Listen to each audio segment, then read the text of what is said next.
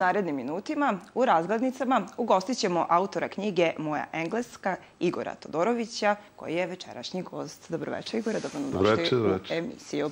E, dakle, evo, tu smo da predstavimo e, vašu knjigu Moja engleska. Recite nam na početku kako je došlo do ideje da se ona uopšte napiše i je li osnovna ideja ljubav prema futbalu, ali engleskom? E, ljubav prema futbalu generalno. Ja sam iz onog vremena, iz one Jugoslavije, kada su bukvalno svi dečaci ono, bili opsednuti jugoslovenskom tadašnjom velikom ligom, a ja sam se u tom nekom ovaj, periodu kao osmogodišnjak na svetskom prvenstvu u Španiji zaljubio Engleze iz samo meni nekog znanog razloga i od tada datira ta neka moja strast i pasija prema engleskom futbolu. E, kako je vreme odmicalo, gledao si gde god si mogao da nađeš neku informaciju, isecao iz novina, sličice, posteri, te tempo, te SN revija, gomila te neke literature, štampe, gde god je bilo jedno slovo o engleskom futbolu, ja sam to secko lepio, skupljao. I to je samo kako sam odrastao, ta neka strast jačala, ili kako već to reći. I a imao sam naviku da od uvek nešto to kao piskaram, skupljam, seckam, lepim i tih je svezaka nakupljeno puna kuća, sto čuda svega. E, mnogi ljudi kao je, kad je bilo to, pa zovu mene, kad se desi, 88. taj taj datum, ja to nađem, gde je bilo, kad je bilo. Uglavnom, sama ideja knjige je potekla od eto, prijatelja koji je pročitao intervju sa mnom na stranici uh, na internet stranici engleski futbal. Momci su me intervjuisali, taj intervju kao pobudio veliku pažnju. E, Strahinja ispred izdavaštva Jež je čitao taj intervju i predložio meni kao ajde napišeš knjigu u tom stilu kakav je taj intervju.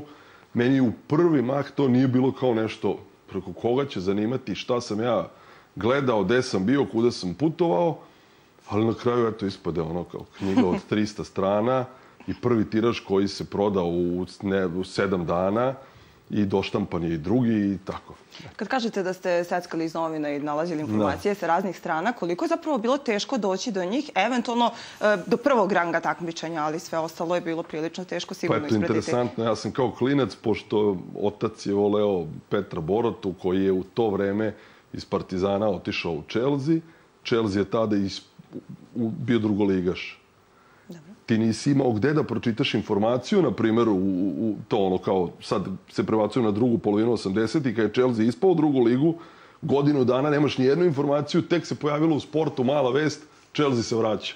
E, kao ti godinu dana ne znaš da li su oni sedmi, 13 ili koji su, ali eto, to je to vreme imalo neku tu svoju draž da si ti kao bio sretan kad saznaš neko novo ime, kad pročitaš, Znaš, sad, to današnjoj omladini koja, ili tako, u roku od sekunde preko Google-a, mobilnog da. telefona, da. tako je, nađe svaku informaciju koja treba.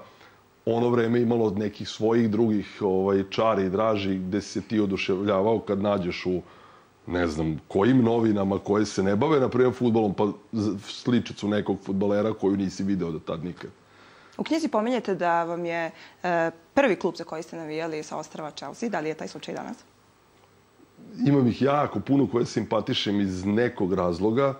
Chelsea mi je, eto tako, kao od tih, od, od malena, ovaj, od 80-ih, klub koji sam, eto, kao za prvi se zakačio, ali bi mogao bukvalno po ligama i po ono da idem na, naniže u svakoj ligi zbog, iz nekog razloga imam da li ovaj zbog boje, da li ovaj zbog nekog igrača ili zbog nekog prijatelja koji je odande, s kojim sam u kontaktu već 20 kusur godina, ovaj, pošto ih imam na nekoliko adresa, pa eto i to dopisivanje i posete moje njima i njihove ovamo meni u Srbiji, pa sve to kao zbog njih pratiš. I Aston Villa i Bolton i Vigan i neki Čorli koji igra šestu ligu, tako da onako poprilično sam posvećen toj temi. Jeste li sa prijateljima eto, koji imate na raznim stranama sveta uspeli da razmenite i neke recimo šalove ili beđeve ili nešto bilo, slično? Da. da li mislite da se i danas ovaj navijači dopisuju putem pošte? Pa, nisam siguran koliko to funkcioniše danas, jer ja znam to kao 90. godina kad je to moje dopisivanje krenulo to je tada bilo da sam ja mogao da otvorim i ono PO box u, u pošti, jer su mi pošiljke stizale na dnevnom nivou da poštar nije, da je sanduče bilo malo da ih sve spakuje unutra. Uh, ali to eto bilo neko vreme to manuelno gde ti pišeš svaki dan neka pisma uporedo uz futbal kao zaljubljenik sam i u punk muziku, pa je to bilo na više strana. Odavde su stizale ploče, diskovi, fanzini, odavde, ne znam, majice, šalovi, dresovi, značke, zastavice, gomila pisama. A čuvate sve to? Imam sve sačuvano. Imam sve sačuvano, samo nemojte pitati gde. gde, jel? Da. Dobro. Da. Um, vaš prvi zapravo odlazak u Englesku se desio 2002. godine. Sigurno sam da se niste razočarali. E, koliko ste stadiona obišli i koliko ste utakmica posetili u toj prvoj turi? Ja sam pre toga bio tri puta odbijen za vizu, jer je stvarno nauka bila 90. godina, kad su pale one famozne sankcije 95. godine i kad se pojavila prva opcija odlaska, kao aranžman, e, ajde sad, kao ponovo se otvaraju granice, može se napolje, ja nisam dobio vizu, jer sam bio vojni obveznik, e, student, tad sam imao 20 godina, onako po njihovim nekim ovaj, parametrima, pravilima, parametrima da. idealan da se ne vratim, ali tako?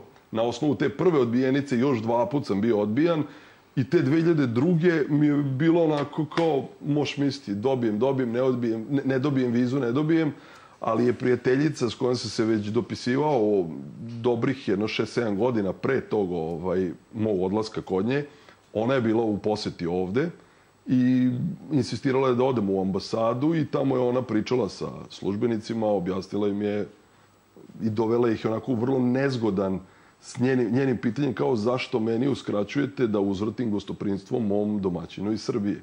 I onda su ovi ovako malo kao nikakav problem, napišite pozivno pismo. Ja sam tamo otišao, to je bio mart 2002. Prvo mi je bilo nestvarno kad sam video ovaj viziran pasoš kao je konačno. To je to. Se. Da, kad sam sleteo, sve je bilo drugačije, kao da si na drugoj planeti.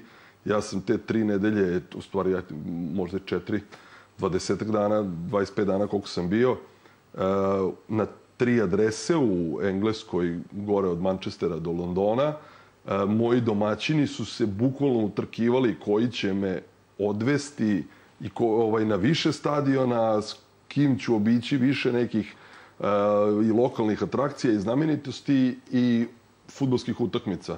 Nisam nikada izbrojao, a imam zapisano. Uh, na primjer, jedan dan je bio podređen, pošto nije bila utakmica taj dan, ajmo da obilazimo stadione oko Manchestera. Obišli smo i deset tog dana.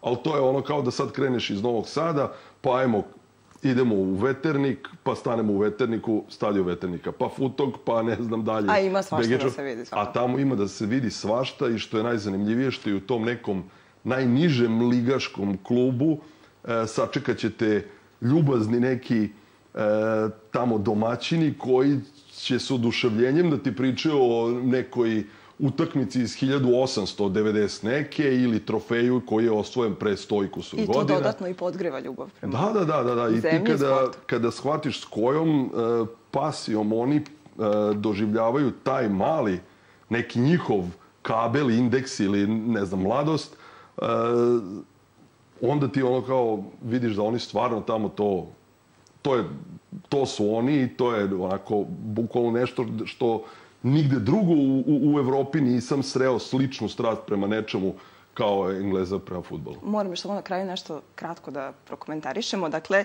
e, dve reprezentacije za koje ćete sigurno navijati na svetskom prvenstvu u Kataru, imam proverenu informaciju, su Srbija i Engleska. E, šta očekujete od jednih, a šta od drugih? Pa, Srbija nek dogura što dalje, Englezi nek osvoje.